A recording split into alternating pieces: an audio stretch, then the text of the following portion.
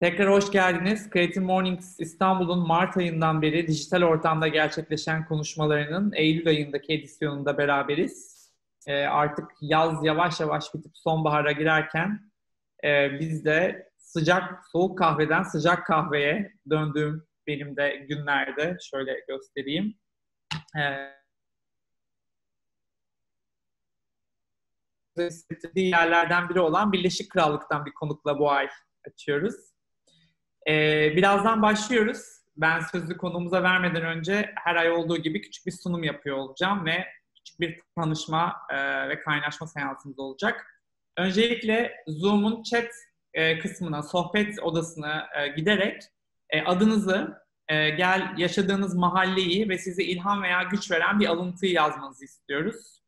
Bakalım şu anda dünyanın hangi mahallelerinden kimler buralarda, hangi alıntılardan ilham veya güç alıyorlar? Bir onları biraz inceleyelim istiyoruz. Ben de şimdi hemen kendiminkisini yazacağım. Akatlar, Moda, Sarıyer, Brooklyn, Londra. Ve katılımı teşvik ediyoruz. E, her zaman bize bütün e, sunumlar ve konuşma esnasında Zoom'un chat fonksiyonunu kullanarak sorularınızı yöneltebilir, yorumlarınızı yapabilir, geri bildirimlerinizi verebilirsiniz. Aynı zamanda ne yazık ki fiziksel ortamda bir arada olamadığımız için dijital olarak birbirimize e, hislerimizi, duygularımızı anlatmamız için olanak sağlayan emojileri kullanabilirsiniz. Onun için de e, bilgisayarlarınızın klavyelerinde Command, Control ve Spacebar'ı kullanarak güzel emojileri Zoom'da da kullanabilirsiniz. Creative Mornings İstanbul aslında bir e, minik topluluk diyebiliriz, mikro topluluk diyebiliriz. Bu topluluğun bir parçası olmak ve topluluktaki diğer insanları keşfetmek için de az önce chatten yazdığım, şimdi aslında tekrar yollayacağım bağlantıdan Creative Mornings İstanbul topluluğunun bir parçası olabilirsiniz. E, her ay tanıdık yüzleri görüyoruz. Bazen yeni e, katılımcılarımız oluyor. Creative Mornings İstanbul topluluğunun bir parçası olursanız Creative Mornings İstanbul'dan, Creative Mornings globaldeki diğer bilgilerden, edisyonlardan ve her ayın e, konuşmalarından haberdar olabilir ve topluluktaki diğer insanlarla iletişime, etkileşime geçebilirsiniz. Ve aynı zamanda bugün de burada olan kişileri de merak ediyorsanız, onlarla tanışmak, onların yaratıcı dünyalarına biraz dalmak istiyorsanız da e, kendi isminizin üstüne gelip isminizi Twitter veya Instagram hesabınızla e, ek, ekleyip buradaki yaratıcı toplulukla başka bir bağlantı kurabilirsiniz. Yine ben de bunu şimdi kendim yapacağım aslında. Biraz Creative Mornings evrenine dalalım. Her ay gelenler için e, tekrar tekrar oluyor ama yeni katılımcılarımız için e, yeni bilgiler olduğunu umarak, umarım e, biraz eski katılımcılar bizi mazur görürler. Creative Mornings e, dünyada şu anda 67 ülkede 216 şehirde gerçekleşen bir kahvaltılı sohbet serisi. E, ayda 27 binden fazla bir e, ziyaretçi alıyor dünyada. E, ve şu anda aslında Mart ayından beri yaptığımız e, bu konuşmalar dijital ortamda gerçekleştiği için özellikle dijital konuşmalarımızın sayısı çok arttı. 8 bin üzerinde dijital konuşma e, var şu anda kayıtlı ve e, 10 milyonun üzerinde video izlenmesi var. Creative Mornings'in bütün konuşmalarının e, video kayıtları Creative Mornings'in sitesinde ve e, YouTube'da e, erişilebilir şekilde duruyor. Creative Mornings İstanbul'un da geçmiş edisyonlarının konuşmalarını oradan izleyebilirsiniz. E, peki Creative Mornings İstanbul aslında ne kadar eski ve nasıl e, var oluyor? Creative Mornings İstanbul 2015 yılından beri e, gerçekleşiyor ve ev sahibi Atölye. E, atölyenin Bomontiada'daki mekanında yapıyoruz normalde konuşmalarımızı. Belki aranızda katılanlarınız vardır. E, ben de Creative Mornings İstanbul'un ev sahibiyim Emre. Atölyede etkinlik ve programlar yöneticisi olarak çalışıyorum. Biz 2015 yılından bir Creative Mornings İstanbul'u gerçekleştirmekten büyük mutluluk ve gurur duyuyoruz. E, ve bizim aslında e, uzun süre e, Türkiye'deki tek edisyonduk biz. Bu yıl itibariyle aramızda Antalya katıldı. E, Creative Mornings Antalya'yı da takip etmenizi tavsiye ederiz. E, Creative Mornings Antalya'da da yine e, bir süredir konuşmalarını dijital olarak gerçekleştiriyor. Yakın zamanda aramızda bir Creative Mornings edisyonu daha katılacak Türkiye'den. Şimdilik sürprizi bozmayayım. Hangi şehir olduğunu söylemiyorum. Ama yakın zamanda bir kardeşimiz daha geliyor. E, Creative Mornings'in dünyada yaptığı bu konuşmalar dışında bir de Field Trips adı verilen aslında e, çeşitli etkinlikleri var. Bu etkinlikler de yine Mart ayından beri sanal olarak gerçekleştiriliyor. Seminerler, e, workshoplar, yoga seansları, çeşitli saha gezileri, e, bütün bunların hepsi aslında Field Trips adı altında. Sizler de Creative Mornings topluluğunun bir parçası olarak bu e, Field Trips'e e, üye olabilir ve etkinlikleri takip edebilirsiniz. Şimdi küçük bir check-in sorumuz var. Odalara dağılacağız ve odalarda biraz e, konuşarak, birbirimizle tanışarak bu sabaha e, bir ilhamla başlayacağız. E, check-in sorumuz şöyle. Yeni keşfettiğin ve Creative Mornings topluluğuna önermek istediğin ne var? Bu bir kitap olabilir, bir film olabilir, bir çalma listesi olabilir, herhangi bir internet sitesi olabilir. E, o yüzden özgürsünüz. Şimdi ben sunumumu paylaşmayı durduruyorum. Gülnaz'dan bizi odalara yollamasını istiyorum. E, odalarda e, 4 dakika kadar vaktimiz olacak. Sonrasında tekrar buradayız.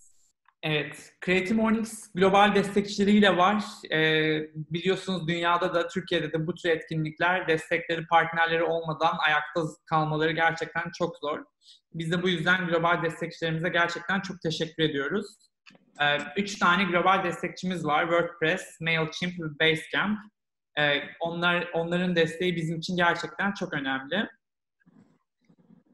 Ve bu aslında destekçiler sadece e, Creative Mornings'e destek olmak, finansal yardım yapmak dışında Creative Mornings topluluğuyla birlikte farklı içerikler ve etkinlikler de üretiyor. E, bunlardan bir tanesi Own Your Content. E, Creative Mornings'in WordPress'le birlikte e, hayata geçirdiği bir e, içerik serisi. E, üçüncü sezonunu şu anda devam ettiriyor. E, burada gerçekten e, çok farklı, dünyanın çok farklı yerlerinden içgörüler, e, makaleler yer alıyor. E, onyourcontent.wordpress.com adresinden e, buraya girip e, WordPress ve Creative Mornings'in birlikte ürettiği içerikleri, röportajları, içgörüleri okumanızı tavsiye ederim. İkinci destekçimiz MailChimp. E, MailChimp ise bu ay e, Bookshook adı verilen bir e, içerikle e, Creative Mornings'i selamlıyor. Hello Sunshine'la MailChimp'in birlikte ürettiği bir içerik bu. E, burada da aslında yine güzel şeylerden biri. E, bu bir seri, içerik serisi ve güçlü kadınların, dünyanın farklı yerinden güçlü kadınların e, aslında onların e, hayatlarını değiştiren, e, onlara adım attıran e, kitapları tartıştıkları bir içerik serisi bu. E, bunu da bakmanızı tavsiye ederim. E, dünya ben de az önce aslında Breakout Room'da bir kitap önerdim. Çünkü bence kitaplar bu anlamda hayatı değiştirmek ve adım atmak için en doğru içeriklerden biri. Ona da e, Bookshook, MailChimp e, yazarak ulaşabilirsiniz. Üçüncü destekçimiz Basecamp. Basecamp'in ise yakın zamanda hayata geçirdiği Hey adı verilen bir e-posta aracı var. E, Creative Mornings topluluğunun da bu e-posta aracını kullanması için e, önemli bir e, hedef kitle olduğunu düşünüyoruz. Çünkü bu e-posta yaratıcı insanlar, gün içerisinde yoğun insanlar için e, oluşturuldu. Hey.com adresinden de bu posta kutusunu ve özelliklerini keşfedebilirsiniz. Peki Türkiye'de Creative Mornings İstanbul'da bizim destekçilerimiz kimler ve nasıl oluyor? E, Creative Mornings İstanbul'un e, iki tane destekçisi var.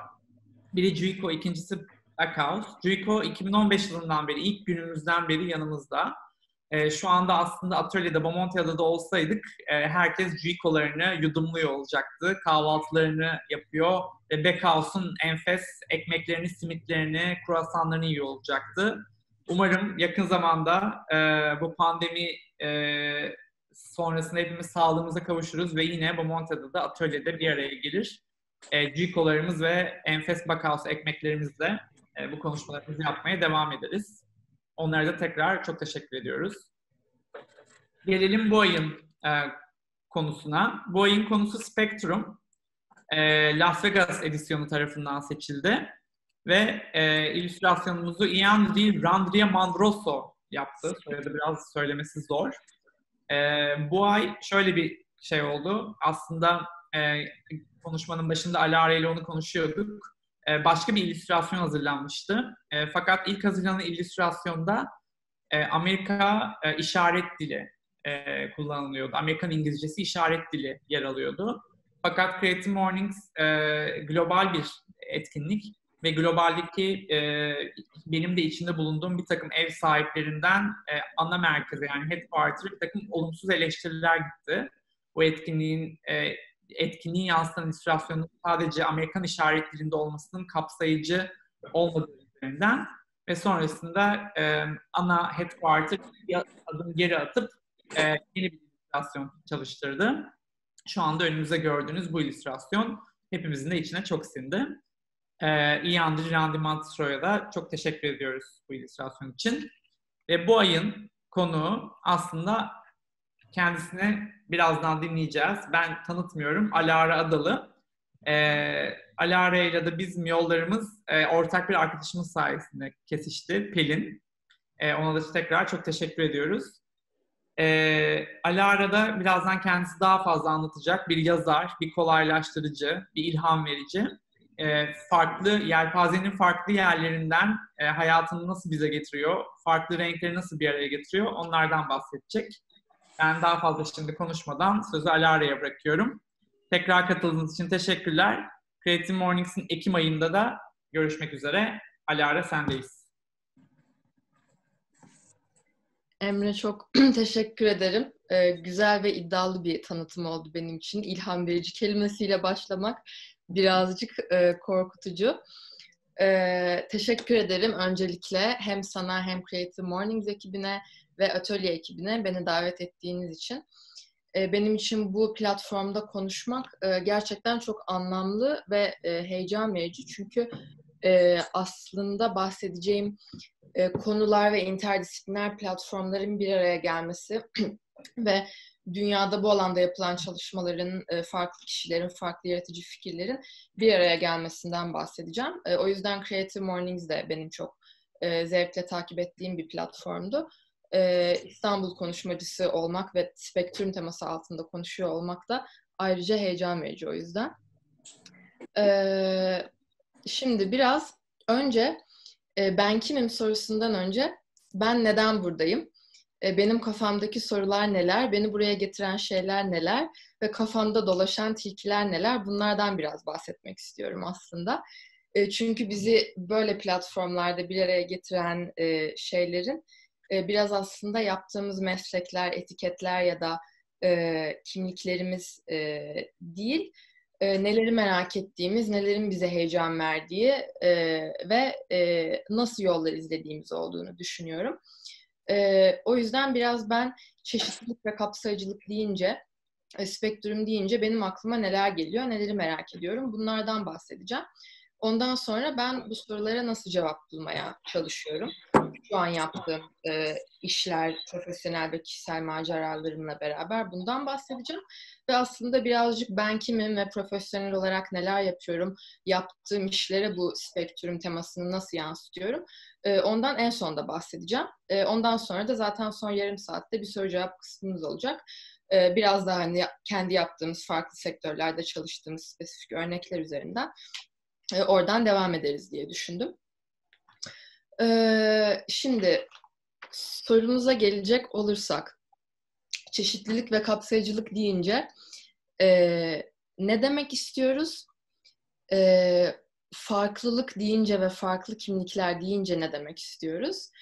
Ve en önemlisi e, farklılıkların kesişme alanlarında neler var ve farklılıkların bu kesişme alanlarında nasıl kırılma noktaları oluşuyor ve bu kırılma noktaları nasıl kırılganlıklar yaşatıyor bize ve de bu kırılganlıklarda nasıl kalabiliriz, nasıl beraber durabiliriz, ee, bir nihai hedef olmadan, bir yere koşmaya çalışmadan ya da bir e, üretim hedefinde ya da bir e, etiket peşinde koşmadan sadece olduğumuz farklı kimliklerimizle e, ister kendi içimizdeki farklı kimliklerimiz olsun, e, ister farklı e, etrafımızdaki insanlar ve iş arkadaşlarımız olsun e, nasıl durabiliriz ve bu ne anlama geliyor? E, benim için aslında çalıştığım alanlarda, profesyonel anlamda ve akademik anlamlarda kafamı kurcalayan soru bu oldu. Yani bu farklılıklar bir araya geldiği zaman burada bir gerilim noktası oluyor, bir çatışma noktası oluyor. Ve bu bize ne ifade ediyor? E, burada benim için kırılganlık kelimesi aslında e, çok yol gösterici bir kelime. E, çünkü e, farklılıklar bir araya geldiği zaman bayağı aslında gerilim noktaları ve kırılma noktaları oluşuyor. Çünkü biraz aslında farklı görüşlerle, farklı platformlarla birleştiğimiz zaman kendi konfor alanımızdan çıkmış oluyoruz. Yani e, oraya gelene kadar bizi oluşturan kimlikler, e, yolculuğumuzda alışık olduğumuz e, yollar ve hayata anlam verme yolları birazcık aslında anlamını kaybediyor. Çünkü karşımıza bizden farklı birisi ya da bizden farklı bir görüş ya da bir platform gelince e, biraz bocalıyoruz aslında ve bu bocalamanın ben çok değerli olduğunu düşünüyorum ve görüyorum özellikle e, gençlerin e, farklı yaratıcı çalışma platformlarında ve e, yaptığı işlerde.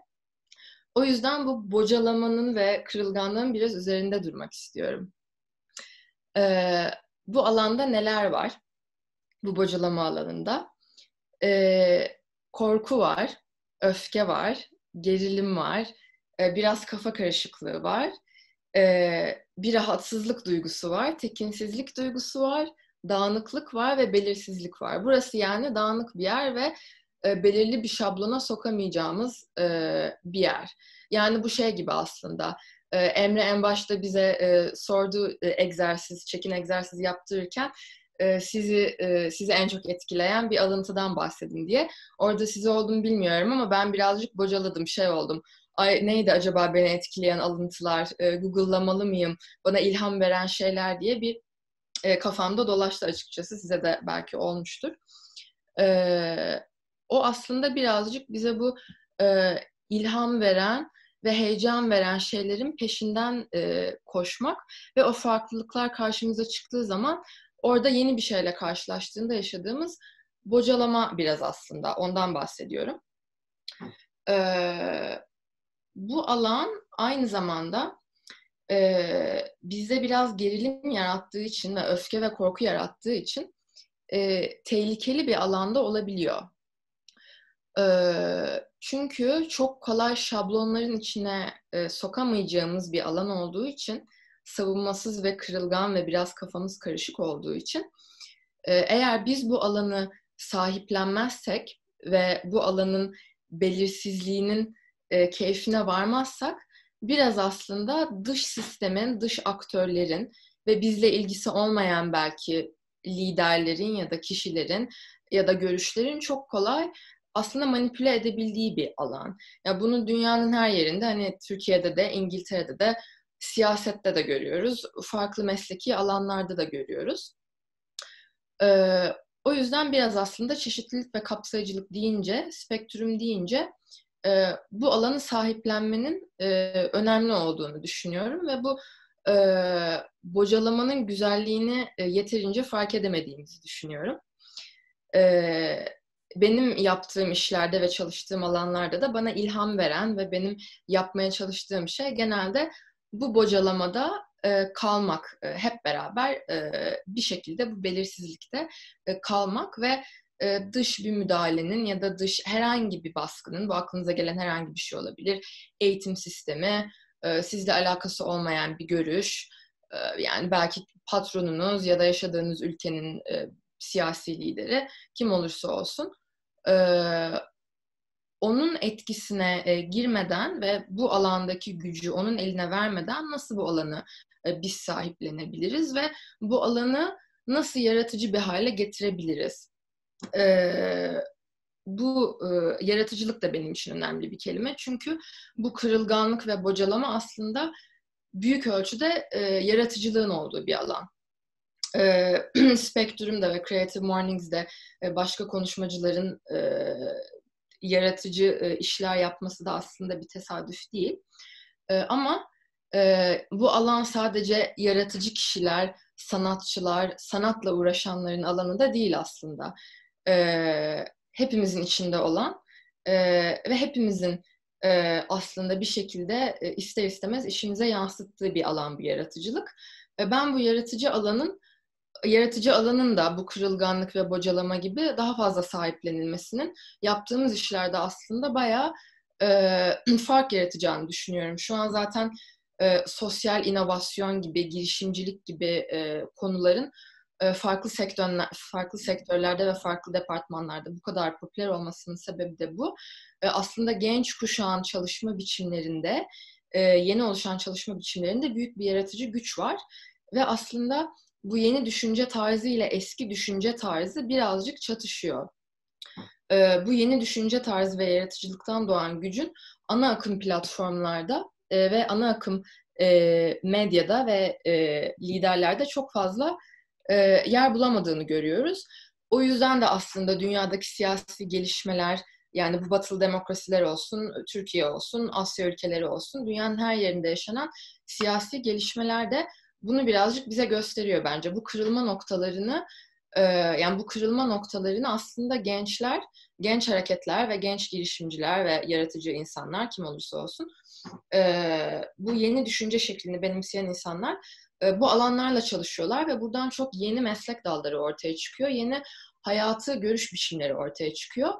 Ama şu an biraz hala bizi yöneten, bize eğitim veren sistemler eski düşünce tarzında kalan sistemler oldukları için e, adapte olamıyorlar bu inovasyona ve bu yeni düşünce tarzına. E, o yüzden de aynı zamanda bir baskı da oluyor bu yeni düşünce tarzına ve bu kırılganlığın karşısında. Şu an zaten e, dünyada en büyük üzerinde sistem tarafından bir baskı oluşturan, özgürlüğü kısıtlanan kişilere ya da platformlara ya da bölgelere baktığınız zaman bu kırılganlığın, bu belirsizliğin ve aslında bu güzelliğin en çok olduğu alanlar oluyor. Bu kesişme bölgeleri, farklı kültürlerin ve farklı düşüncelerin. Ee, o yüzden biraz aslında bizim bu yaratıcılığa sahip çıkmamız önemli. Ee, bunu da nasıl yapabiliriz?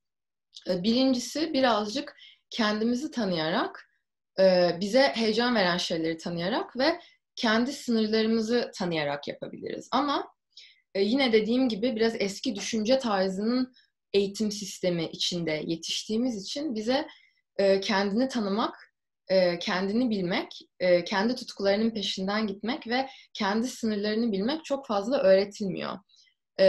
Yani biz bunu şanslıysak e, aile üyelerimiz, arkadaşlarımız, bize ilham veren bir öğretmenimiz ya da iş arkadaşlarımız, ettiğimiz çay sohbetleri ve bir şekilde hayat yolculuğumuzla kendimizi tanımaya başlıyoruz. Yani halbuki bu bize hani okulda çarpım tablosunun öğretildiği gibi aslında birazcık e, kendi kendini tanıma yöntemleri ve e, nasıl kendine alan açabildiğin, kendin olabileceğin platformlara nasıl ulaşabileceğin e, ve de kendinden farklı görüşteki kişilerle nasıl güvenli bir şekilde e, seni rahatsız etmeyecek bir şekilde e, ama aynı zamanda da o hani yaratıcı güzellik, o bocalayıcı güzellikle e, kalabileceğini öğretselerdi gerçekten biraz farklı bir sistem olurdu. Yani şu anda biraz yeni yeni eğitim sistemlerinde e, bu ve şirketlerde, farklı organizasyonlarda öğretilmeye başlandı ama birazcık geç kaldı. E, o yüzden biz birazcık bu platformları kovaladıkça bazı şeyler birazcık daha değişecek. E, burada sınırlar ve rızanın da biraz üzerinde durmak istiyorum.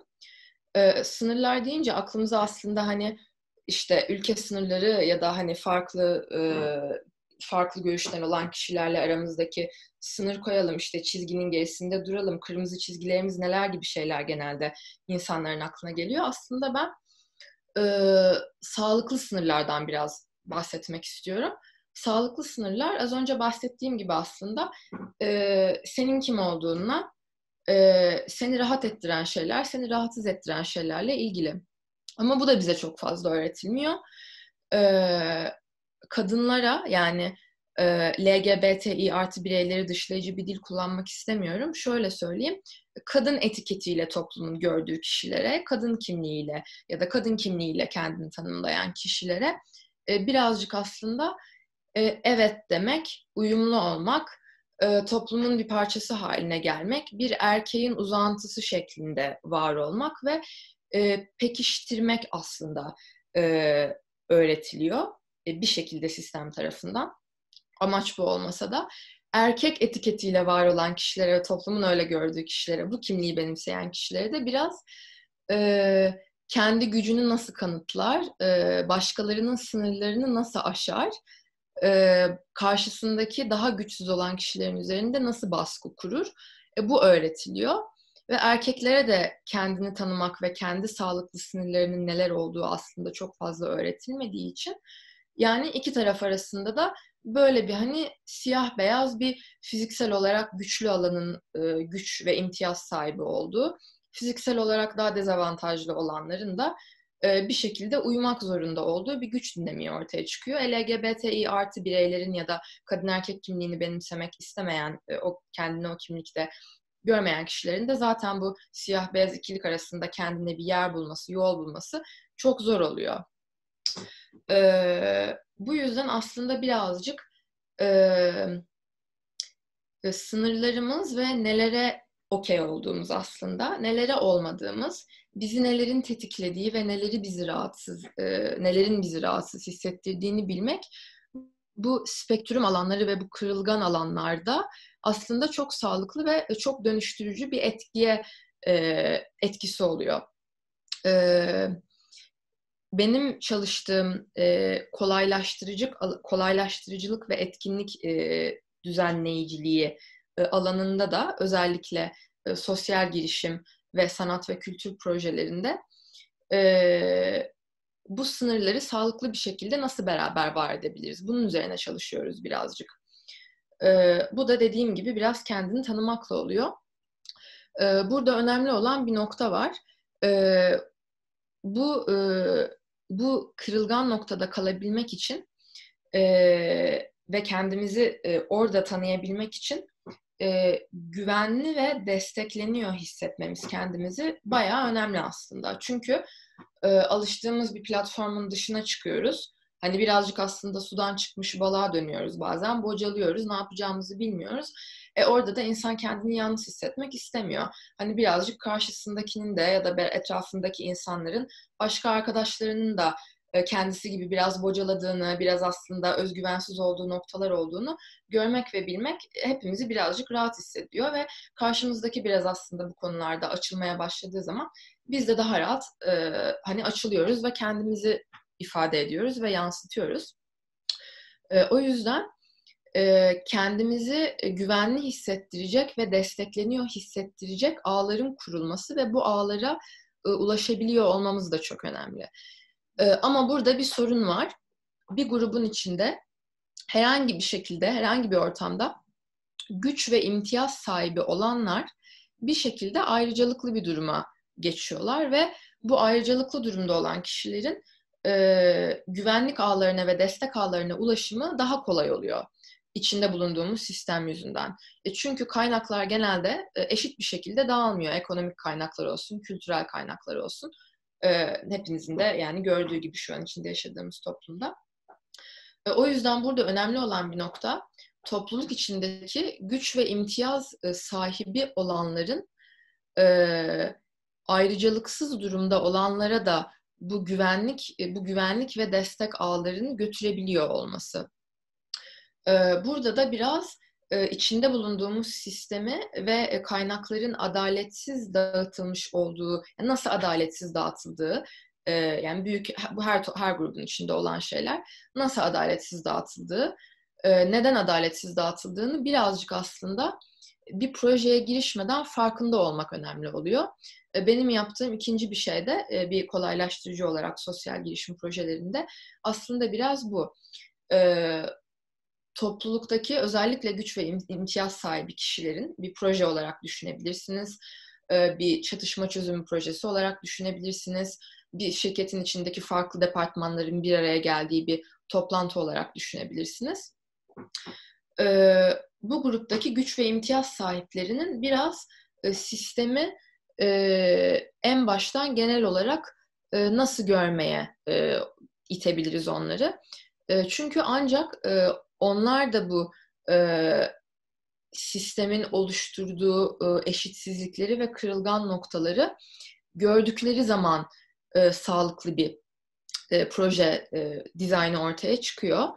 E, bu da aslında bir proje e, proje yönetiminde ve proje dizaynında ya da inovasyonda, yaratıcılıkta e, bayağı önemli oluyor ama yani günümüzde özellikle eski düşünce tarzındaki liderlerden ve organizasyonlardan bazen aslında niyet iyi olsa da yani e, burada e, gelir eşitsizliği olan bir topluluk var. E, oraya yardım götürelim ya da hep beraber kalkınalım. Uluslararası kalkınma alanında da bu hani işte Avrupa ülkeleriyle Afrika ülkeleri hep beraber kalkınılsın. Yani hakikaten bu alanda kendine adamış ve iyi niyetli ve güzel işler yapan e, kişiler ve organizasyonlar bile e, bazen sistemi en baştan iyi göremedikleri için, fark edemedikleri için ve kendilerini iyi tanıyamadıkları için e, aslında bazen durumu daha kötü hale getirebiliyorlar. Bu biraz şey gibi hani büyük markaların marka aktivizmi gibi. Mesela hani şimdi feminizm, kadın hareketi, kadının güçlendirilmesi popüler oldu. İşte e, bazı markaların hani parfüm reklamlarında, çanta reklamlarında e, kadınların böyle güçlü bir şekilde hayatlarını yaşadıklarını ve e, mutlu bir şekilde işte işe gittiklerini, kariyer de yaptıklarını, çocuk da yaptıklarını görüyoruz. Böyle reklamlar var. Tamam bu çok güzel. Bana bu bir kadın olarak bu iyi hissettiriyor. Hani ben büyürken böyle reklamlar yoktu. Kadının seks objesi olarak yansıtıldığı, olabildiğince az kıyafet giydiği parfüm reklamları vardı. Tabii ki ben bu yeni reklamları tercih ediyorum ama ya o çanta eğer 200 bin liraysa, 200 bin poundsa hatta 200 liraysa bile o çantayı yüzde birin yüzde biri alabiliyorsa e, orada bir sorun oluyor. İşte orada bir kırılma noktası oluyor ve sen o projeyi e, dünyanın yüzde doksanına götürüp de hani bakın kadınlar güçlendi artık Me Too hareketleri var değiştik çok fazla diyemiyorsun. Bunu işte eski düşünce tarzındaki liderler ve markalar ve organizasyonlar yapmaya çalışıyorlar.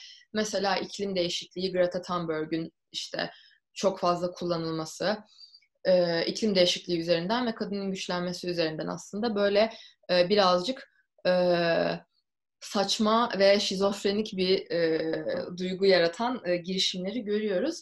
O yüzden aslında ben aynı zamanda yaptığım işlerde, kolaylaştırdığım atölyelerde, toplantılarda ve düzenlediğim etkinliklerde e, farklı kişiler bir araya geldiği zaman e, anlamlı bir şekilde e, ayrıcalıksız olan gruplara da bu desteğin sağlanması ve beraber bir şeyler üretmek üzerine çalışıyorum. Ee, eğer bu şey olursa çünkü e, mesela gelişmiş batılı bir demokrasideki beyaz bir e, erkek e, Afrika'daki zavallı çocuklara yardım getiriyor şeklinde bir e, şey üzerinden e, anlatı üzerinden kurulursa ki bu çok fazla kuruluyor e, uluslararası kalkınma organizasyonlarında e, o zaman çok fazla bir hani güç dengesi oluyor en basitinden. O yüzden e, bir proje dizayn ettiğimizde, atölye dizayn ettiğimizde biz elimizden geldiğince e, herkes nasıl kendini güç sahibi e, şeklinde hisseder. Güçler nasıl eşit dağılır ve nasıl beraber bir şeyler yaratabiliriz. Bir grubun bir gruba hani parasal yardım vermesi ya da hani sırtını sıvazlayıp tamam işte hadi koçum sen iyisin al bunu kaynakları ben sana veriyorum sen e, istediğini yapabilirsin şeklinde bir bakış açısı yerine aslında biraz hepimiz bu sürecin içinde nasıl değişiriz bu önemli oluyor.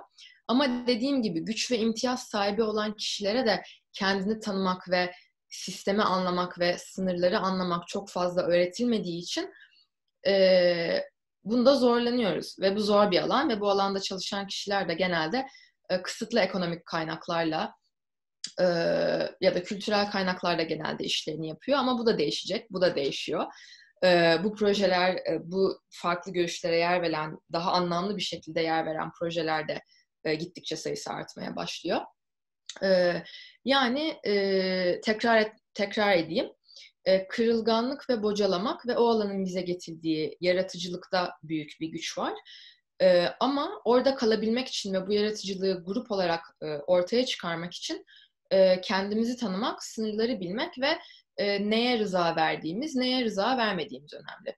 E, farklı kimliklerimizden bahsederken mesela ben burada size yaptığım bazı işlerden bahsediyorum, bazı kimliklerimden bahsediyorum ama benim burada mesela böyle bir platformda e, çok fazla detaylı bir şekilde anlatmak istemediğim kimliklerim de var.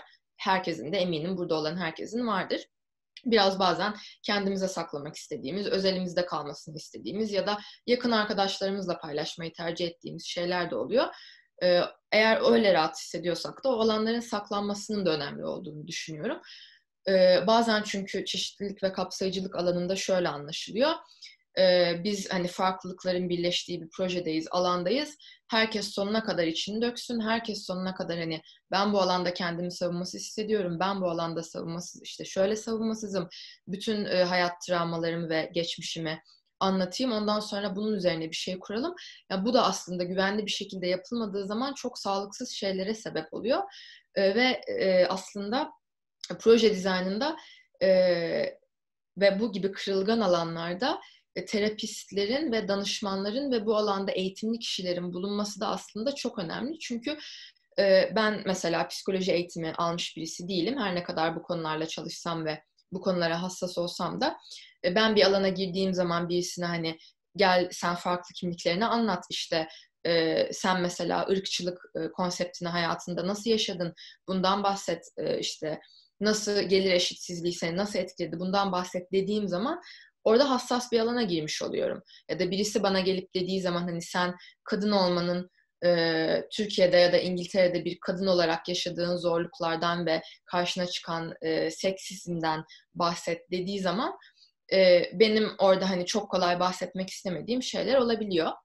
O yüzden o yüzden sınırlar. E, bunların e, keş yani bunların e, projelerde aslında hassas alanlar olduğunu bilmek de e, ve alanında uzman kişilerin, psikologlar gibi bulunması da proje dizaynında bayağı önemli ve bu da günümüzde gittikçe artıyor sosyal inovasyon projelerinde ve çatışma çözümü alanında.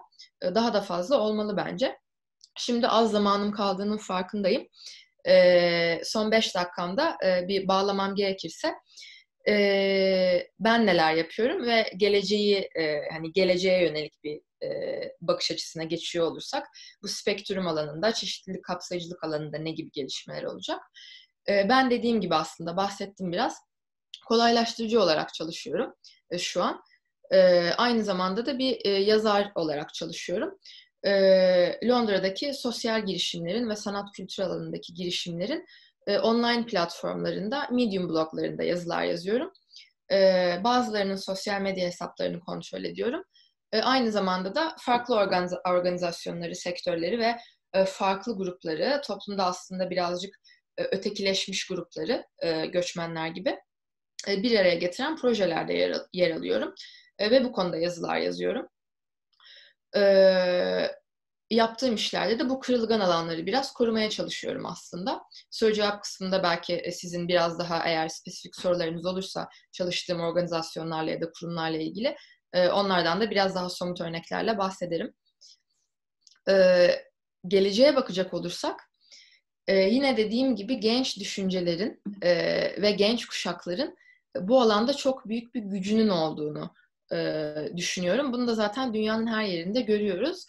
Ee, ve de pandeminin yarattığı kırılganlıktan son olarak bahsetmek istiyorum. Şu an aslında bayağı büyük bir kırılma noktasının içindeyiz. O kırılma noktasını yaşıyoruz. O hassasiyeti her gün yaşıyoruz. Bizim ım, günlük hayatımızda, kişisel hayatımızda yaşadığımız zorluklar ve kaynakların aslında eşit dağılmamış olması e, bize pandemi çok keskin çizgilerle karşımıza çıkardı. Hani iş kaybetmek olsun, e, işte işten çıkartılanlar olsun, e, işiyle sağlığı arasında seçim yapmak zorunda kalanlar olsun e, ya da dışarıda e, yani başını sokacak bir evi olmayanlar olsun herhangi bir e, kontekste bunu düşünebilirsiniz. Bu kişilerin aslında yani savunmasız olan ve kırılgan olan ve ötekileştirilmiş kişilerin aslında e, daha da ötekileştirdiği bir kırılgan bir noktadayız. Ama e, aynı zamanda yeni düşünce sistemleri de e, ve yeni oluş biçimleri de çok fazla e, yükselişte. E, ben bu pandemiden çıktığımız zaman yani maalesef bir iki sene sürecek gibi gözüküyor. Ancak kendimizi toparlayacağız. Hani ekonomik e, reperkasyonlarından, e, etkilerinden bahsetmiyorum bile. E, hani sokağa çıkmaya başladığımız zaman ve işlerimize daha güvenli bir şekilde geri dönmeye başladığımız zaman çok farklı bir dünya düzeni olacak. Bu demek değil ki tamamen genç düşünceler her şeyi çözecek ve her şey iyileşmiş, güzelleşmiş olacak. İyi tarafları da olacak, kötü tarafları da olacak ama e, bundan bir 10 sene sonra, 20 sene sonra genç kuşaklar yönetici pozisyonlarına ve liderlik pozisyonlarına geldikleri zaman ve ana akım medyayı ve ana akım platformları değiştirmeye başladıkları zaman ki başladılar da e, o zaman aslında bu kırılganlıklarda çok daha kolay kalabildiğimiz ve çok daha farklı yani hakikaten bu sefer kapsayıcılık anlamında konuşmaya başlayabileceğimiz e, platformları daha sık görüyor olacağız. O yüzden birazcık kendini tanımak, alanını sahiplenmek ve heyecanlarının peşinde koşmak, işte o en başta yazdığımız sana yön veren alıntıların peşinde koşmak, onları keşfetmeye çalışmak biraz önemli. E, bu kolay mı? Kolay değil. E, çünkü dünyanın her yerinde bizi e, sınav sistemine iten bir sınav, e, sınav kaygısı, e, para kaygısı, e, meslek kaygısı, e, terfi hani terfi olacak mıyım iş yerinde bu kaygıları sürekli iten ve sürekli bir nihai hedef uğruna böyle at yarışı gibi koşturduğumuz bir sistemin içinde olduğumuz için bayağı bir zor oluyor ve aslında bazen de kendimizi sistemin karşısında kürek çekiyormuş gibi hissediyoruz. O yüzden tekrar edecek olursam destek kendimizi destekleniyor hissetmezsek ve güvenli hissetmezsek ve kendimiz olabileceğimiz platformlara alan açmazsak çok kolay yıpranabiliyoruz bu yolculuğun içinde. E, bu yüzden e, destekli hissetmek ve e, kendi kafa yapan kafa yapındaki e, kendi tutkularını senin tutkularını paylaşan insanlarla bir araya gelmek hem profesyonel anlamda hem e, kişisel anlamda bayağı da önemli oluyor. Benim için bu platformda sizlerle konuşmak da böyle bir şeye vesile olmuş oldu. Şu an konuşmadaki bazı eski arkadaşlarımı tanıdık yüzleri görüyorum ve e, hepsinin aslında farklı sektörlerde, benden çok farklı alanlarda e, çalışan kişileri görüyorum. Bu da beni heyecanlandırıyor. Bu da aslında bu platformda bir nevi kırılma noktası benim için. bu konuşmaya hazırlanmak ve bu konuşmayı yapmak da bir nevi aslında beni birazcık değiştirdi ve benim kendimi tanımama bir tık daha olanak sağladı. E, o yüzden sizin de çalıştığınız alanlarda ve yaptığınız işlerde bu kırılganlıklarda nasıl durduğunuzu ya da farklı projeleri nasıl bir araya getirdiğinizi sizden dinlemek isterim. E, ve eğer daha somut örnek sorularınız da olursa benim yaptıklarımla ilgili e, buyurunuz sorabilirsiniz. Emre sanırım süremizin sonuna geldik yavaştan. Çok teşekkür ediyoruz ve ağzına, ellerine sağlık Alara. Ee, şimdi Alara'nın söylediği gibi bir açık alanımız var. Ee, yarım saat kadar vaktimiz var. Sorularınız, yorumlarınız, geri bildirimleriniz, merak ettikleriniz için hepsi e, bu alanda. E, mikrofonunuzun sesini açıp doğrudan e, konuşabilirsiniz veya e, chat fonksiyonunu kullanarak sorularınızı veya yorumlarınızı yazabilirsiniz.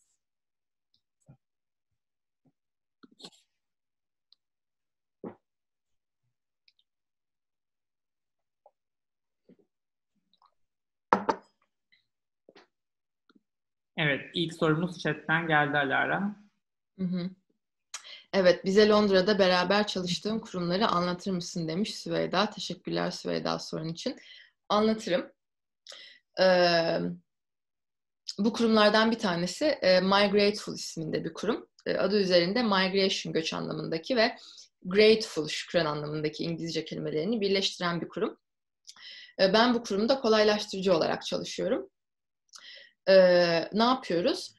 E, İngiltere'de yaşayan, e, Londra'da ve İngiltere'nin güneyinde yaşayan e, şehirlerdeki e, mülteci olan, mülteci statüsünde olan ya da mülteci statüsünde olmasa da göçmen statüsünde olan ve e, zor hayat şartlarında ve meslek şartlarında İngiltere'de e, yaşayan kişilere şef eğitimi veriyoruz.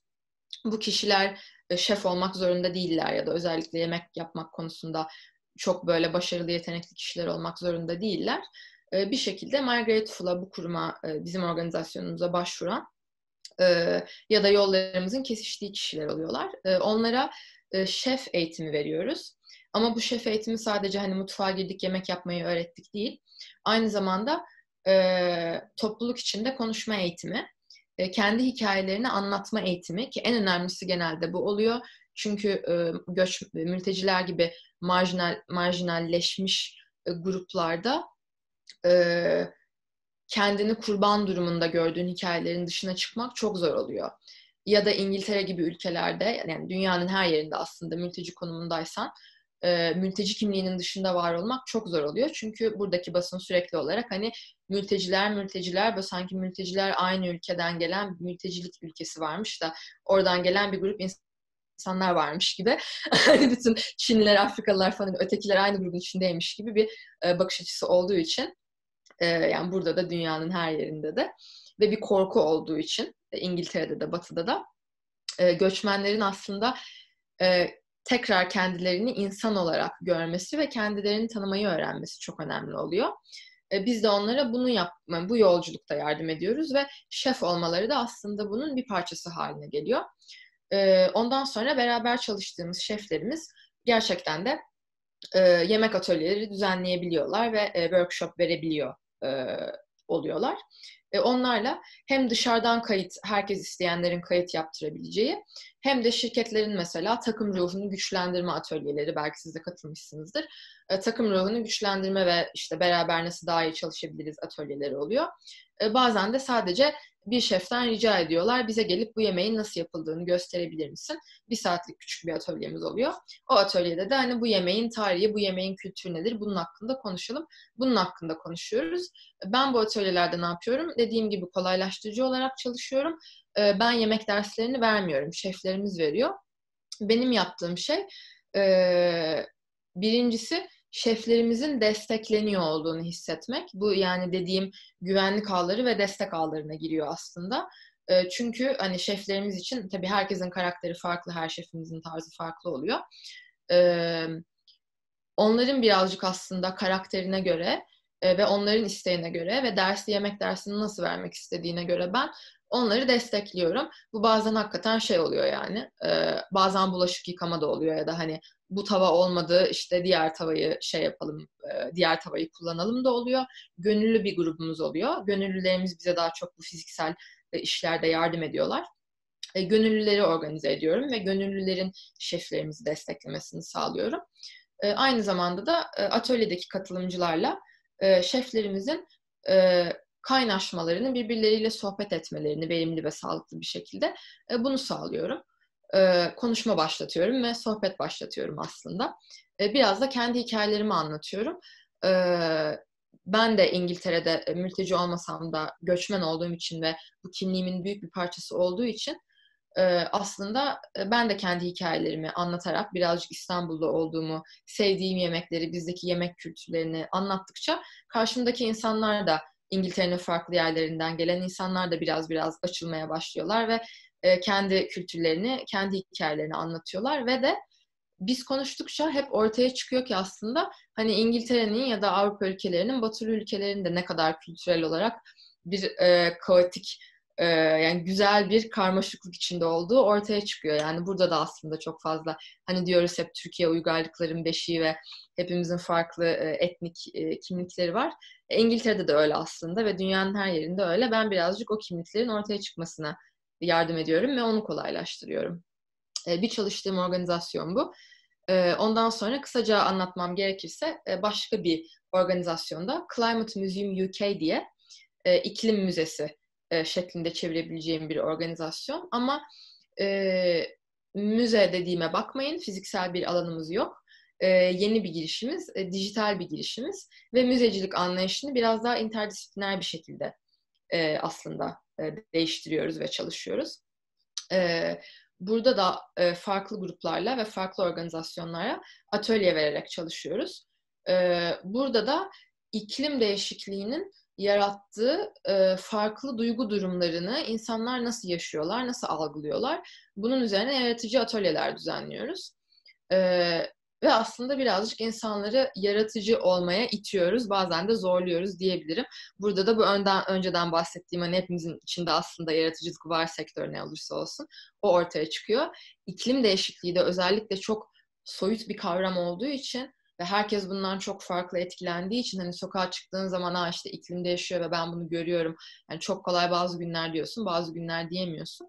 Çok soyut olduğu için aslında birazcık da bazen zor oluyor e, insanların, atölye katılımcıların katılımcılarının buna anlam vermesi. Çünkü işte dediğim gibi biraz hani kendini tanımak, doğayı tanımak ve içinde bulunduğun iklimi tanımak da çok fazla bize öğretilmediği için ve biraz doğadan kopuk bir sistemin içinde yetiştiğimiz için e, biraz aslında o bağlantıyı yani kendileriyle olan katılımcıların bağlantısını e, ve de doğayla olan bağlantısını teşvik etmiş oluyoruz.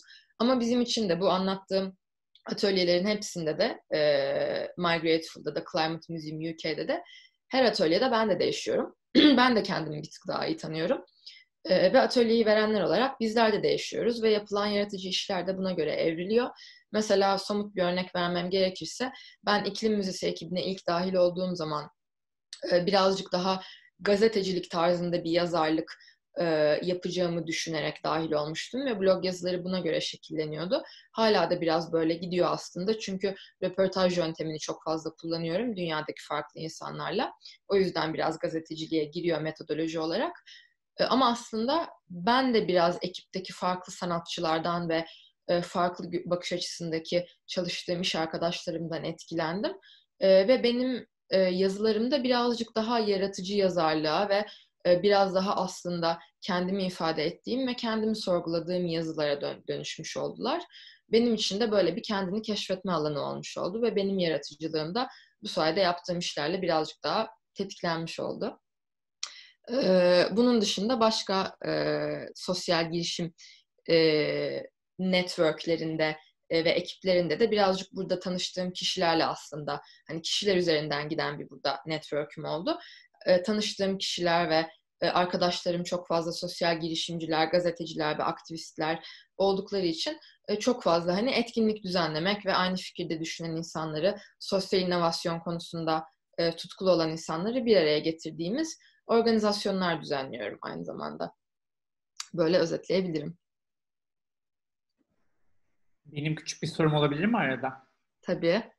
Yani az önce şimdi yaratıcı yazarlıktan bahsedince böyle düşündüm. Geçenlerde de bunu bayağı düşünüyordum. Ya aslında tabii ki internette çok fazla şey var ama sen konuya nasıl yaklaşıyorsun onu merak ediyorum. Bu yaratıcı yazarlık yani bir şeyin başına yaratıcı koyma konusunda biraz aslında ben tak, tak geçenlerde çünkü işte yaratıcı editör diye bir ünvan gördüm. Ee, yaratıcı girişimci diye bir şey var. İşte Geçenlerde yine yaratıcı yönetmen gördüm falan. Yani bütün bunlar aslında bahsettiğimiz zaten yaratıcılık olmadan olamayacak şeyler. Dolayısıyla başına yaratıcı koyunca ne değişiyor ben onu merak ediyorum. Ee, yaratıcı yazma diye böyle bayağı sertifika programları falan da var. Ee, bilmiyorum sen bu konuda bir eğitim aldın veya bir derin bilgin var mı ama sen bunu nasıl görüyorsun onu merak ettim. Hı hı. Güzel bir soru. Bayağı da geniş ve zorlayıcı bir soru. Teşekkür ederim sorun için. Ee, ben yaratıcı yazarlık eğitimi almadım. Kendimi yaratıcı yazar olarak tanımlamaya da açıkçası bu sene başladım. Ee, benim eğitimim daha çok tarihçilik eğitimi ve sosyal bilimler eğitimi aslında. Orada hani benim yazarlık anlayışım aslında birazcık e, araştırma yapmak, röportaj yapmak ve onları harmanlamak üzerine biraz daha akademik bir eğitimim e, oldu aslında. Yaratıcı yazarlık biraz benim kendim için yaptığım e, hikayeler yazmak, kendi hayatta yolumu bulmak ve kendim e, bir şeylere anlam vermek için yaptığım bir şeydi. E, bunu da çok fazla aslında paylaşmıyordum ya da hayatımda ön plana almıyordum etrafındaki kişilerle. E, yani biraz dediğim gibi ben de kendimi tanıdıkça oldu. E, yaratıcı kelimesi de hakikaten çok geniş bir kelime. Yani yaratıcı kelimesini de hani mesleki alanının başına isteyen getirebilir bence. Hani kendini öyle tanımlamak istiyorsa neden getirmesin? Hani bunun illa bir yaratıcı yazarlık eğitimini almış olmak ya da işte yaratıcı girişimci eğitimini almış olmak çok, da gerekli değil bence. Sadece biraz dürüst bir şekilde e, yapmak ve e, saygılı bir şekilde yapmak daha önemli. Yani nasıl yaptığın biraz daha önemli bence ne yaptığından. Evet, ben de kısa bir şey soracağım. Eğer başka soru yoksa, başka soru var mı? Ee, şu an yok gibi. Ben de şeyi merak ettim. Sanırım tarih okudun değil mi? Burada ta- Türkiye'de tarih okuyup sonra İngiltere'ye gitmiştin. Evet. Ee, mesela My Grateful'la ve işte e, şu anda yaptığın işleri yapmaya nasıl başladın? Yani bunun başlangıç noktası nedir? Nasıl tanıştın? Nasıl girdin bu işlere? Çünkü aslında hani şimdi mülteci çalışmaları gibi bir şey okumamışsın. Hı hı. Ve şu anda çalıştığın alanlar biraz daha böyle spesifik ve gerçekten e, yani niş kelimesini kullanmak uygun değil ama anlatabildiysem e, nasıl o başlangıç noktasını merak ettim. Ya bu tamamen benim kendi kişisel yolculuğumla oldu ve evrildi aslında ve de tamamen hayatta karşıma çıkan insanlarla ve platformlarla oldu. Ee, ben farklı etkinliklere katılmayı, gitmeyi, dinlemeyi, öğrenmeyi çok seviyorum. Gittiğim platformlarda da insanlarla tanışmayı da çok seviyorum. Ee, burada şu an içinde yer aldığım organizasyonların büyük kısmı benim gittiğim etkinliklerde tanıştığım insanlar vasıtasıyla ya da benim yaptığım işleri ve benim hayat görüşümü bilen insanlar vasıtasıyla oldu aslında. Hani çok fazla bir e, resmi internet üzerinden iş ilanı çıktı. Ben onu buldum, başvurdum ya da e, işte bir yerde karşıma çıktı, CV'mi yolladım gibi çok fazla olmadı. E, aslında biraz e, hani ben buraya göç edince de ben kendimi burada e, biraz azınlık konumunda e, bulunca ve kendi göç yolculuğumun getirdiği kırılganlıklarla oldu. Biraz aslında ben burada kendimi e, çok yeni bir ortamda ve çok yeni bir kültürde bulunca e, biraz benim kendimi güvende hissettiğim alanlar ve destekli hissettiğim alanlara Türkiye'de olduğundan belki biraz daha kolay yaklaşmaya başladım. Çünkü birazcık hani o şeyi arıyorsunuz yani tamam burada hani Türkiye'li arkadaşlarım var ya da tanıdığım bazı kişiler vardı ama yine de hani insan bir şey oluyor hani ailesiyle ve yakın arkadaşlarıyla aynı yerde yaşamayınca biraz daha hani kendim olabildiğim nereler var o arayışa biraz daha çabuk giriyorsunuz belki. Gurbet diyorsun. Ha, yani aynen evet biraz aslında hani gurbette daha çabuk büyüyorsun ve kendini keşfetmeye başlıyorsun olayı oldu benim için de. Ve onlara ağırlık verdiğim için, yani onları kovaladığım için, o bağlantıların peşinde koştuğum için ve bırakmadığım için böyle böyle tanıştığım insanlar vasıtasıyla oldu yani. E, bu da birazcık aslında bize çok e, öğretilmeyen ve gösterilmeyen bir şey oluyor bazen. Bu bağlantıları kovalamak. Alara ben bir şey sormak istiyorum ufak. Öncelikle çok teşekkürler. Böyle hani normal hayattan böyle bir çekip aldın beni falan böyle hani her şey çok klasik ya işte güne başlıyoruz işler güçler bir şeyler falan. Ya hayatta başka şeyler de varmış falan diye böyle bir ilham oldun gerçekten. Ee, benim aklıma da şey geldi. Şimdi böyle kolaylaştırıcı olmak aslında hani o ortamdaki herkesi de olduğu gibi görmek de varmış gibi geldi. Gözümde öyle bir şey canlandı. Ama bizim hani beynimiz çok böyle kısa yollarla çalışıyor ya işte. Hani birisi bir şey dediğinde ha bu öteki, bu şu, şu şöyle, bu böyle falan deyip aslında hani daha az enerjiyle çok hani hemen sonuca ulaşabiliyoruz. Hmm. Öyle olduğunda, o role büründüğünde sen bunu nasıl başarıyorsun? Yani orada olduğunda çünkü işte hani e, o kişileri olduğu gibi görebilmek, kabul edebilmek ve senin aslında yargısız durabilmen gerekiyor. Hani sen oralarda neler yaşıyorsun? Onu nasıl yapabiliyorsun onu merak ettim. Ya kolay değil bir kere öyle söyleyeyim.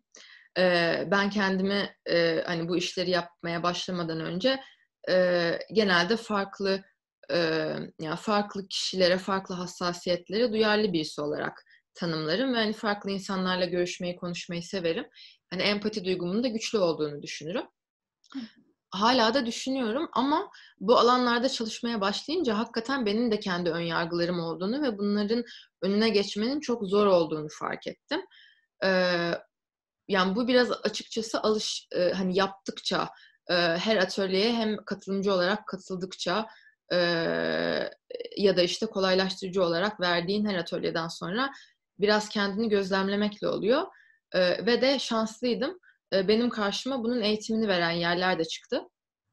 Art of Hosting diye bir grup var. Bu web sitesine bakabilirsiniz. Emre kafa sallıyor biliyor galiba. Evet, biz de atölyede birkaç yıl önce atölye ekibinden birkaç arkadaşımız oradan eğitim almıştı. Ben de bunun eğitimini aldım. Art of Hosting grubu da aslında yani kolaylaştırıcı eğitimi veriyorlar ama ben bunu bizim hani Türkiye'li ve Akdenizli kültürlere biraz daha yakın bir kolaylaştırıcılık eğitimi olarak görüyorum. Çünkü böyle ağırlamanın, hani misafir ağırlamanın ve çay sohbetinin e, önemli olduğu bir kolaylaştırıcılık eğitimi. Çünkü bazen açıkçası hani İngiltere'de ve batılı e, sistemin içinde o hani bir oturalım da 5 saat rakı muhabbeti edelim işte çay sohbeti edelim çok fazla kültürde olmadığı için biraz daha işte hani bir araya geldik bir saatlik toplantı yapalım en verimli nasıl kullanabiliriz, en çok ne yapabiliriz, işte projeyi nasıl bitirebiliriz. Biraz böyle bir kafa yapısı burada daha çok hakim. O da bazen biraz işte bu hassasiyetleri, Melike senin dediğin gibi farklılıkları görmeyi engelliyor. E, o yüzden e, yani bu işlerin içine girdikçe bunun eğitimini de aldım Art of Hosting'den. E, şu anda e, kadınların özellikle e, bu alanlarda e, farklılıklar alanında liderlik etmesini e, sağlayan bir e, kuruluşla beraber e, eğitim alıyorum. O programın da içindeyim. Hmm. E, yani benim de bir öğren, ben de hala o öğrenme yolculuğunun içindeyim ama e, kolay olmuyor yani o farklılıklardan, e, farklılıkları görüp de kendi yargılarını bırakabilmek. Teşekkür ederim.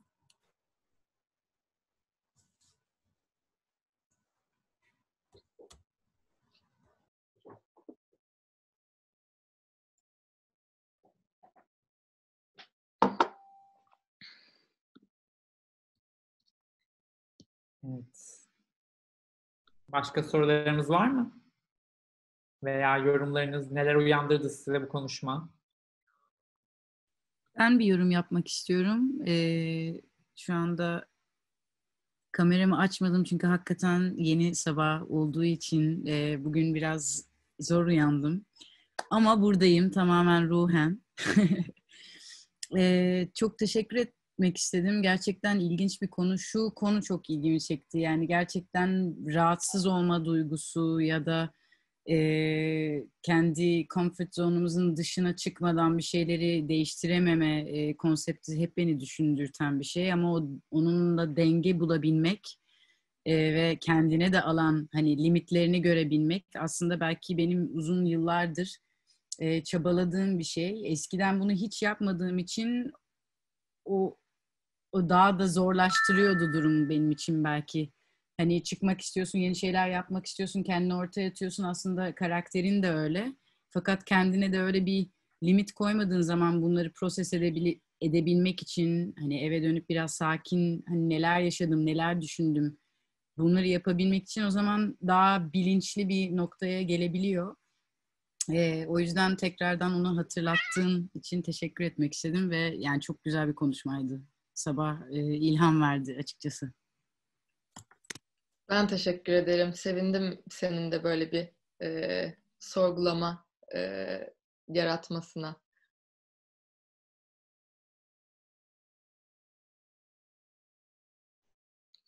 Ee, sizin mesela ben e, farklı mesleklerde ve yaptığınız işlerde aslında bu kırılma noktalarında nasıl dur, e, durduğunuzu duymak çok isterim. Çünkü hani benim hiç tecrübe etmediğim sektörlerde çalışanlar e, var eminim aranızda. Hani örnek vermek isterseniz yürüttüğünüz bir proje ya da katıldığınız bir atölye ya da içinde bulunduğunuz bir sohbet olabilir bu. Ee, karanlıkta diyalog giden var mı hiç? Benim gitmeye fırsatım ol- olmamıştı yok istiyordum ama gidemedim. mesela benim için inanılmaz bir deneyimdi. Hani gerçekten bir kırılma noktası. Çünkü hani bir saat boyunca simsiyah hiçbir şeyi göremediğin bir yerde birkaç kişiyle giriyorsunuz ve İstanbul'u deneyimliyorsunuz. Hakikaten oraya böyle bir İstanbul yapmışlar. Pazara gidiyorsunuz, vapura biniyorsunuz ve görme engelli birisi e, tamamen gezdiriyor bir saat boyunca ve e, ya onu deneyimledikten sonra bambaşka bir bir perspektif katıyor hakikaten. Bir kırılma noktası oluyor onu deneyimleyince ve biz oraya girdiğimizde oradaki e, guide'ımız sadece dedi ki hani burada ben görüyorum. İlk söylediği cümle buydu ve e, ya bu tarz kırılma noktaları bence bir saat içinde her şey değişebil değişebilen deneyimler mesela çok değerli. Çok tavsiye ediyorum hani gidemediyseniz. Bir de karanlıkta diyalog var. Ona katılamadım ama çok isterim ona da katılmak. Teşekkürler. Evet, ben de çok istiyordum ve dediğin gibi benim için de bazen şey oluyor açıkçası. Mesela bir saatlik bir atölyeye de işte üç günlük bir eğitime katılıyorum. Orada yani birisi öyle bir şey diyor ki mesela hani tüylerini diken diken ediyor. Ya da orada hani hakikaten kendini farklı birisinin yerine koyduğunu hissettiğin zaman aslında o değişimi yapan da o bir anlık bir tüylerini diken diken eden duygu ya da işte e, gözlerini dolduran o an ya da öfkelendiysen mesela bazen e, şey oluyor hani bir grup çalışmasında özellikle birine böyle kendini sinir olurken ya da onunla çok çatışma içinde buluyorsun. Ondan sonra bir diyorsun ki aa niye bu kişi ya da bu şey beni çok fazla öfkelendiriyor. Aslında o öfke duygusu e, senin biraz kırılma noktan oluyor ve ötekini anlamaya başladığın nokta oluyor. Evet ve e, son bir şey söyleyeceğim. Başkaları da çünkü konuşmak isteyebilir. E, aslında insanlara, ya kendimizi daha iyi tanıdığımız zaman karşımızdaki insanlara da diyebiliriz ki hani ben bunu şöyle yapıyorum çünkü benim beynim böyle çalışıyor ve ben böyle rahat hissediyorum. Ee, bu çok basit bir aksiyon bile olabilir. Evde bir e, bir objeyi bir yere koymak ve hani karşındaki hani bu obje neden oraya konuluyor belki diye düşünüldüğü bir nokta varsa aslında ama benim beynim böyle çalışıyor ve şu anda böyle bir yerde. Karşımızdaki de o bizim spektrum diye bahsettiğimiz yerde aslında Aa, evet sadece farklı bir bakış açısı var orada. Hani e, kendimizi de daha iyi açıklayabildikçe karşı tarafa o zaman onların da anlayabilme şansı daha fazla oluyor. O yüzden bu kendimizi tanımak hakikaten çok çok önemli diye düşünüyorum.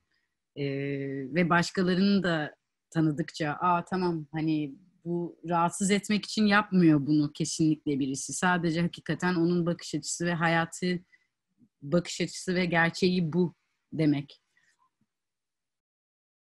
Hı hı. Öyle gerçekten.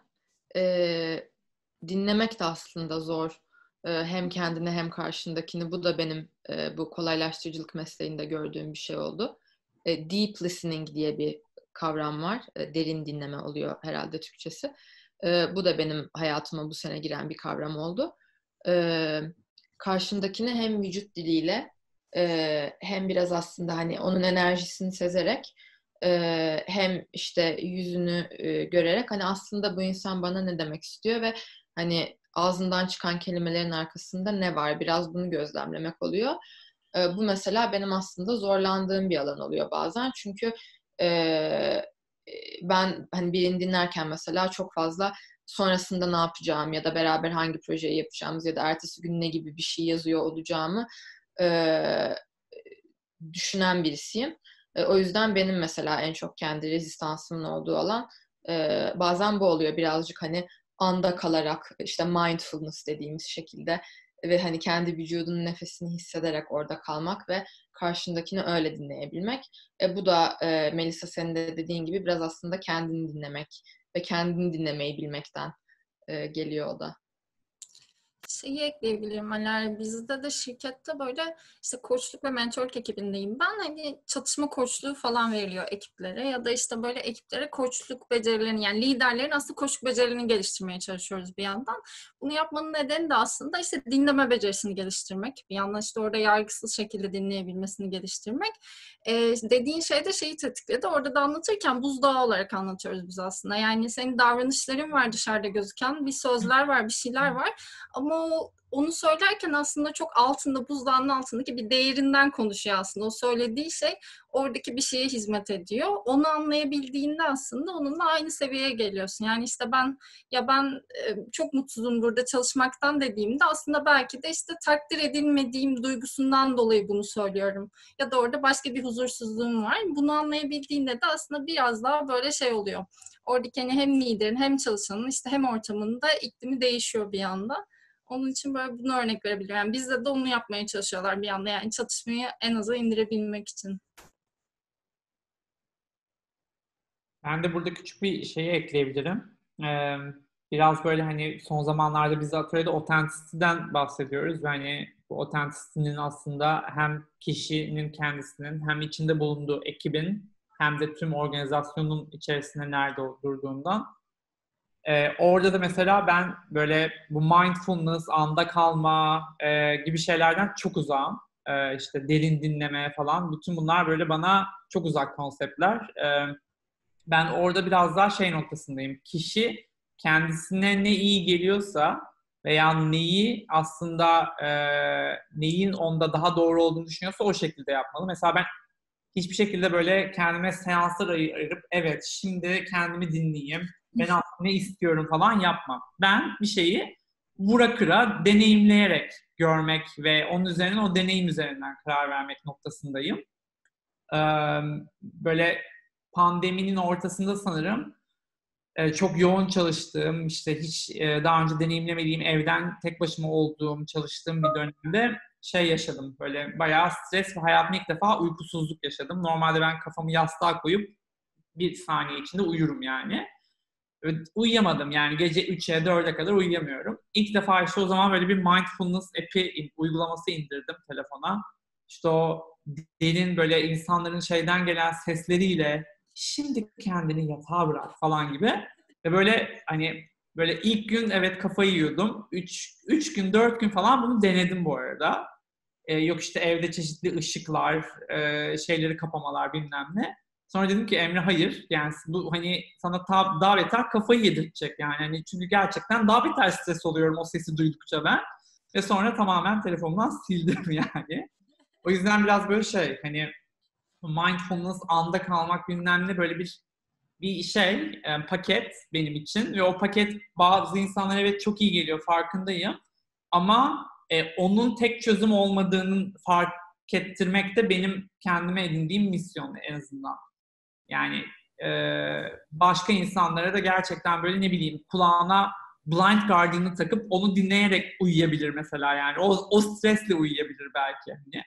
E, o yüzden farklı yolları olduğunu keşfetmek ve bunu aslında ortaya çıkarmak işte tam da spektrum konusunda bence çok değerli. O yüzden son böyle bir şey çıkarayım dedim ben de. Ben burada bir eklemede bulunabilirim. Ee, sana katılıyorum. Yani şöyle, ben de bu dönemde uykusuzluk çektim. Normalde de daha önce hep yoga yapmışlığım falan da var böyle o nefes konu başlıklarına da hakimim. Ama ben de senin gibi düşünüyordum yani o anda kalma benim için aşırı zor. Sürekli aklımda bir şeyler dönüyor, ediyor. Bunu nasıl başarıyorlar, ne yapıyorlar falan derken yakın zamanda böyle bir tane ben de bir app indirdim. Hani bir takip etme süreci var ya böyle 21 gün bunu yapman gerekiyor. Bunu alışkanlık haline getirebilmen için. Ee, son işte ilk yani bir hafta içerisinde böyle bir haftadır yapıyorum yani bunu deneyimliyorum. Burada şuna getireceğim. Mesela daha önce bana işkence gibi gelen şey şu an gayet güzel akıyor. Hakikaten böyle uykuyla ilgili olan problemimi falan da çözdüm. Biraz belki şeye de bağlı. Bir zamanla da ilgili olabilir. Yani senin hayatının hangi döneminde olduğu bunu belki de hani kabul etmenle de ilgili olabilir. Çünkü senin yaşadığın o şeyi ben de yaşadım ama şu an mesela bundan faydalanıyorum da bir yandan. O şu an belki bunu bu şekilde düşünüyor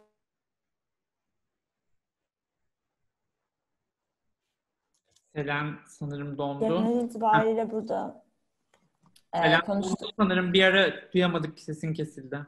Aa, tamam geri geldin mi acaba? Evet. Tamam. Ee, bir de e, son şeyi söyleyecektim. E, yani aslında burada konuştuğumuz konu başlıklarını ben e, kendimde de hep görüyordum ve herkeste de olduğunu görmek ilginç geldi. Demek ki aslında çok basit olduğunu düşündüğüm şeyler. Kendini tanımak belki su içmek kadar basit olmalısı gerekirken bunun ne kadar zor bir şey olduğunu da insan bir şekilde anlayıveriyor yani. Bu bilmiyorum bunun bir pratiği var mı varsa yapayım ama ben de hep soruyorum. Acaba ben hani neler yani benim o streç olduğum alanlar ne? O birazcık sanırım e, bir şeylerin içerisine kendini atmak ve o durum karşısında ne göstereceğini, nasıl bir tepki vereceğini göstermekle de alakalı. Çünkü mesela hayatlarımız çok böyle belli alanlarda döndüğü için işte sabah gidiyorsun zaten güven alanının içerisinde olduğun bir iş hayatın var. Geliyorsun akşam yaptığın şeyler çok standart. Öyle durumlar içerisinde sanırım bunu yapmak çok da mümkün olmuyor. O zaman ben kimim gibi basit bir belki olabilecek sorunun cevabını bile vermekte aşırı zorlanabiliyoruz. Benim de bugünkü toplantıda böyle hissettiğim şeyler bunlar oldu genel itibariyle. Teşekkürler paylaştığın için Selen. Ee, ya gerçekten haklısın. Bazen o e, hani kendine baktığın alanda kalmak günlük rutinde çok zor oluyor. Benim için de mesela bazen zorlayan hani zaten çok zor hayat şartlarında var olan ve hani ekonomik anlamda çok büyük sıkıntılar içinde var olmaya çalışan marjinalleşmiş gruplarla çalıştığım zaman hani o insanlara ve hani mesela yani üç çocuk bakıyorsa bir insan, beş çocuk bakıyorsa ve iki işte birden çalışıyorsa gün içinde ve o koşturmacı içindeyse e bir de iş yerinde hani e, seksizmle ya da ötekileştirmekle ya da siyaset dertleri varsa hani benim ona dönüp işte sen kendine bir saat yoga yapmaya ayır ya da hani bir saat kendini tanımaya ayır demem zor oluyor. İşte orada onun bir dengesi hani nasıl onu hani hem o şartlarda yaşayan bir insanın yapabileceği ve onun için gerçek olan bir şekilde yapabilirsin. İşte orada biraz o denge bulmak ve farklı görüşlerle orta noktada birleşmek orada önemli oluyor. Okay, o zaman herkese tekrar çok teşekkür ederiz. Başta olmak üzere bütün katılımcılarımıza. e, zamanımızın sonuna geldik. E, Creative Mornings İstanbul devam ediyor. Ekim ayında da 30 Ekim'de e, konuğumuzla burada olacağız. Kahvaltımız, kahvelerimiz yanımızda olacak. Yine ekranlarımızın başında olacağız. Umarım sizler de yine katılabilirsiniz. Alara tekrar sana çok teşekkür ediyoruz. Çok keyifli bir sabahtı bizim için. Hem Cuma'ya, e, hafta sonuna güzel bir başlangıç oldu. Hem de aslında yeni aya girerken, e, biraz da aslında sonbaharı iliklerimize hissederken e, bizim için çok ilham dolu bir sabah oldu. Tekrar çok teşekkür ediyoruz. Ben teşekkür ederim Emre. için. Teşekkürler. Alara. Creative Mornings İstanbul topluluğuna kaydolmayı, e-bültenlerimizi almayı ve bir sonraki konuşmaya gelmeyi unutmayın. Teşekkür ediyoruz. Herkese iyi hafta sonları. Teşekkürler. Görüşmek üzere.